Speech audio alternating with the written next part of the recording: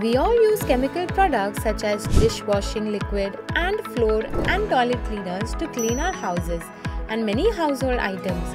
But do you know these products contain toxic and aggressive chemicals? Yes, you heard it right. These tips are extremely hazardous to our health and their environmental implications are destructive. You must have heard about the infamous frothing lake which is situated in Bangalore.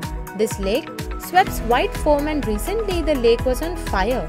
The name of the lake is Bellandur Lake and one of the primary reasons for the lake to turn toxic is the presence of home cleaners. We blindly buy home cleaners from reputable brands without knowing the impact it has on human beings and pets. We know you must be thinking then how to clean the household products. Don't worry, I will give you the best option. Bioenzyme.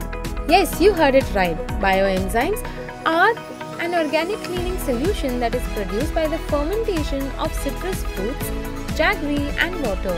The solution contains good bacteria in it which produces enzymes and these enzymes digest waste, stains, soils and malodors, just like the chemical product from a reputed brand. But the main part is that you can make this bioenzyme at your home. Let's see how you can prepare this.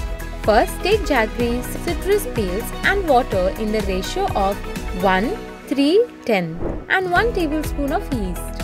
If you want, you can also take peels of carrot, cucumber, pineapple and lettuce. Then mix all the ingredients in a plastic bottle with a screw bottle cap and leave it aside for 1 month. But remember, don't fill the bottle to the brim. Open the bottle at least once a day and give it a nice stir to it to let go of the gases which are produced in the bottle. After one month, strain the liquid and store it in a plastic container or bottle. Done?